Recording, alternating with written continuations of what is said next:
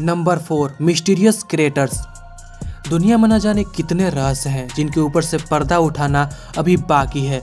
इन्हीं रहस्यों में से एक रहस्य है, साल 2014 में रूस के साइबेरिया क्षेत्र के यमन में एक दो फीट चौड़ा गड्ढा, जो पूरी दुनिया के लिए रहस्य बना हुआ है। लेकिन मामला यही नहीं थमा, बल्कि ऐसे और रहस्यमय गड्ढे आसपास के एरिया में सामने आने लगे।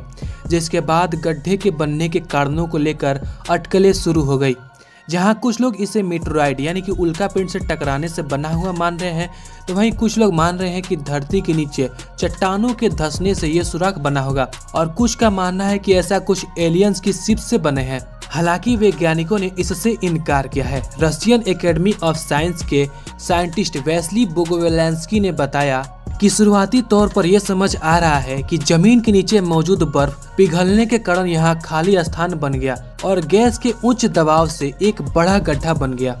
लेकिन कुछ साइंटिस्ट का मानना है कि इन गड्ढों के बनने की असली वजह अंडरग्राउंड मीथेन गैस एक्सप्लोजन है। वैज्ञानिकों के अनुसार अक्सर ज़मीन के बीच में सदियों से जमी बर्फ़ जब पिघलना शुरू हो जाती है तो वहाँ मौजूद ऑर्गेनिक चीज़ें जैसे मृत पेड़ पौधे, गैस, जीवाश्म सड़ने लगते हैं। और CO2 मीथेन आदि गैस बनने लगते हैं जिसे बाहर निकलने के लिए कोई जगह नहीं मिलती। तो ग्लोबल वार्मिंग की वजह से गर्मी बढ़ने के बाद गैस ज़मीन को फाड़ कर बाहर निकलती है। साइबेरियन टाइम्स के अनुसार ऐसे सात हज़ार भूमिगत गैस बुलबुले यमन और गीदान के प्रायद्वीपों पर विस्फोट होने के लिए तैयार है।